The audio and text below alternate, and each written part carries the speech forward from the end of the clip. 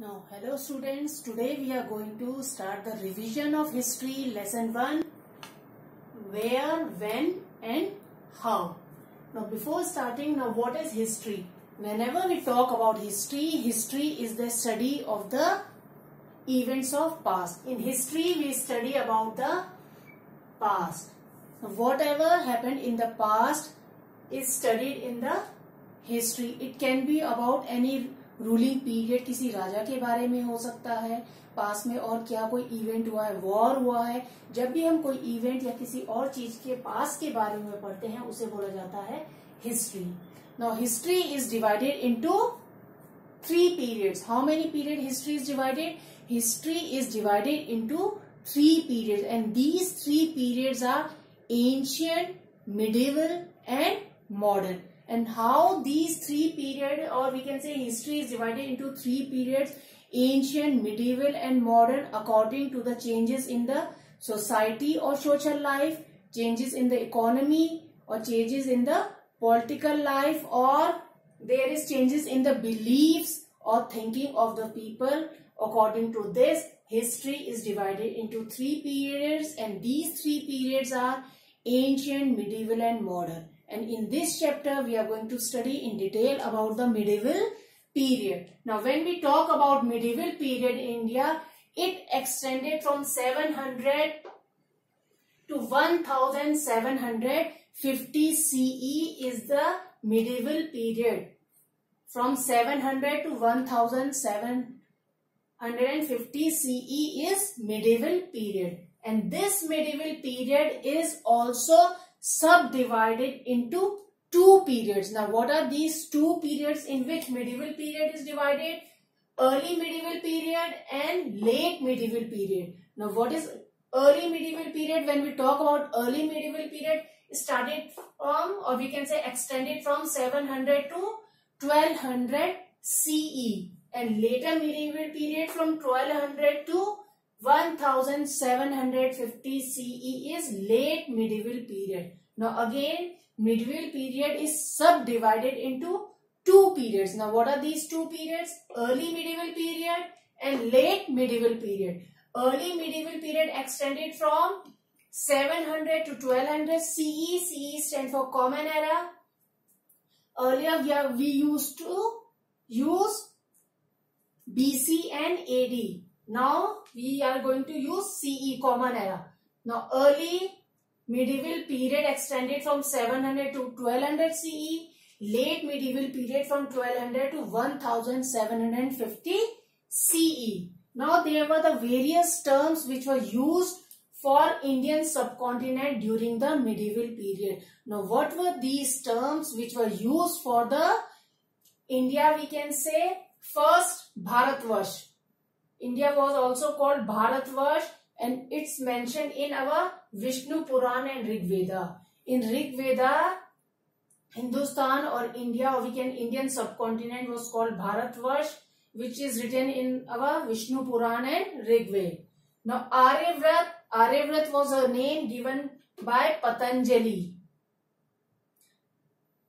Jain Avesta, Jain Avesta is the holy book of the Parsis जैसे holy books होती हैं, जैसे हिंदू की होली बुक, गीता है, सिख की गुरु ग्रंथ साहिब है, मुस्लिम्स की कुरान है तो ऐसी Zend Avesta is the holy book of the Parsis और उस होली बुक में हिंदुस्तान पे लिखा है Sapta Sindhu. Sindhu is the name of a river now ancient Greek call Indoi the people who live in river Indus और near river Indus they From there they get the name Indoi.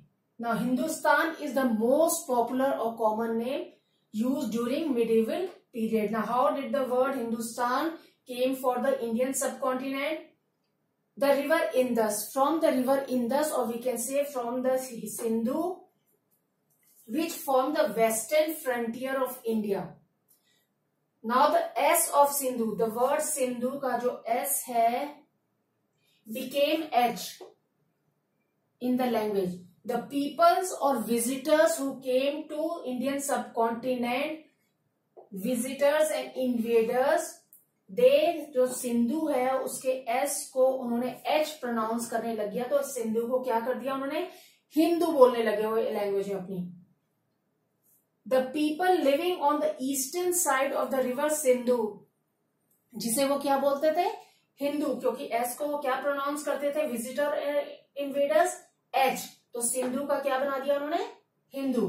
The people living on the eastern side of the river Sindhu called Hindu, क्योंकि उन्होंने सिंधु का S को क्या pronounce करते थे? Invaders और visitors H the people living the eastern side of the river Sindhu called Hindu so the land of the river Hindu और we can say Sindhu became Hindustan. So the country got the name Hindustan और हिंद जो अभी भी commonly call या उसी नाम से जाना जाता है। फिर नेक्स्ट हम पढ़ेंगे the sources of medieval Indian history को पढ़ने के ऐसे कौन कौन से सोर्सेज है? अगर हम बोले तो there are two sources for studying medieval Indian history these are archaeological sources and literary sources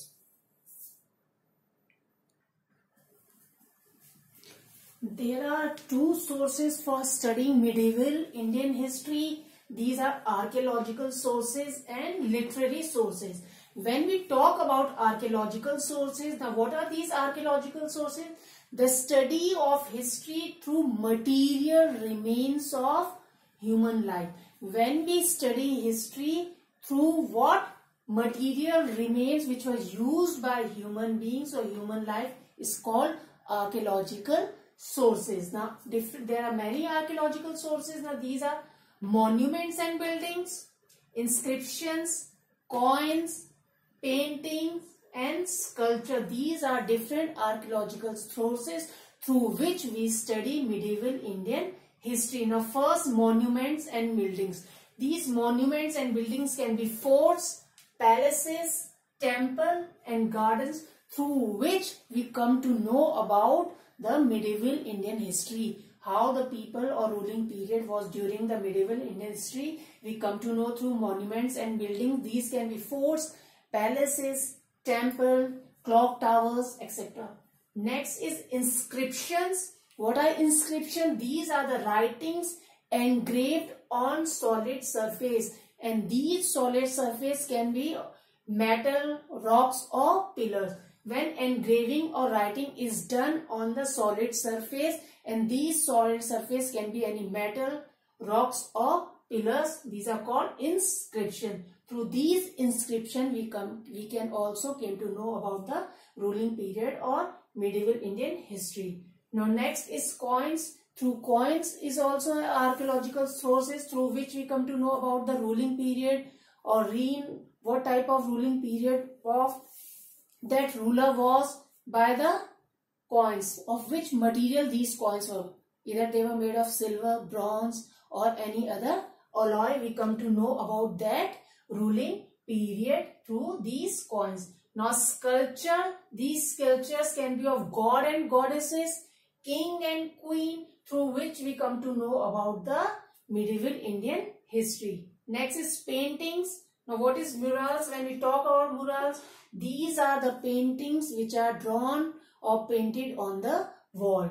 Again, murals are the paintings which are drawn on or we can say painted on walls. Now, miniature as from the name itself, miniature small paintings. The paintings which are done in small, it can be on pages or we can say paper or it can be compiled in, in a book form or a scroll can be also made of miniature, a small painting. Now next is literary sources.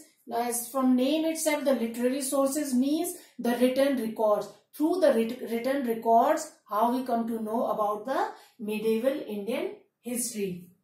Now when we talk about literary sources, these are the written records. They are divided into two religious and non-religious literary sources. When we talk about religious literary sources, these are texts such as from Ramayana and Bharat, Mahabharat and Dohas. Through these Ramayana and Mahabharat or Dohas, these are the religious texts which we come to know about the medieval Indian history. Next are non-religious sources. Now what are these non-religious sources?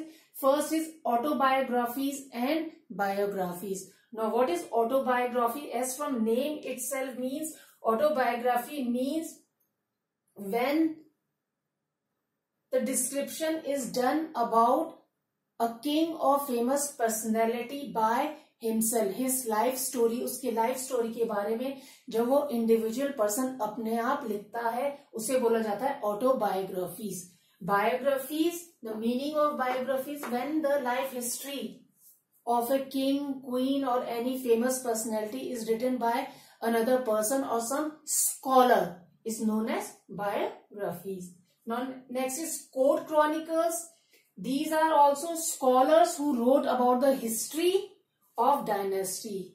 What are court chronicles? These are the scholars who wrote about the history of dynasties are known as court chronicles. The writings of foreign travelers. There are many travelers in the form of ambassadors, pilgrims or tourists.